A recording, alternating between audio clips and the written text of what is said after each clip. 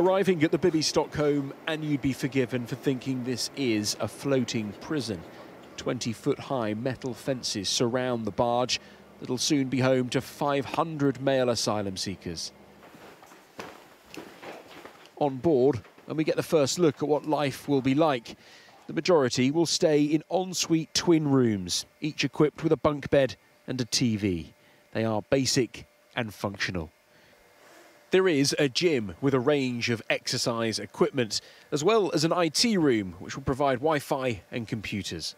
The facilities are designed to minimise the need for the asylum seekers to actually leave. So, as well as their bedrooms, there are communal areas where they can watch TV and movies, and also internal outside space where there's going to be things like basketball hoops and benches for them to relax outside.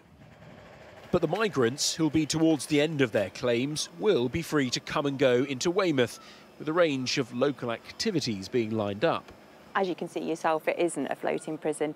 Um, they've got multiple recreational areas and outside areas to be able to, to have activities. We've also got local voluntary services who are looking at what activities can happen outside of the, outside of the barge.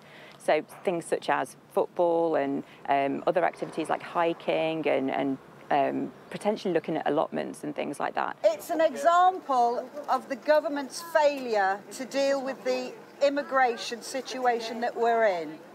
Outside the port, the barge continues to divide. Regardless of the fact that they have a, a gym and three sofas in their lounge, it's a prison, isn't it? It is technically a prison, or a slightly glorified version of a prison.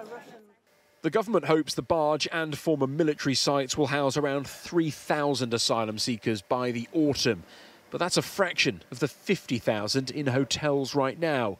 And with more arriving, finding them a safe place, often against local opposition, is an increasingly difficult challenge. Dan Whitehead, Sky News, in Portland, Dorset.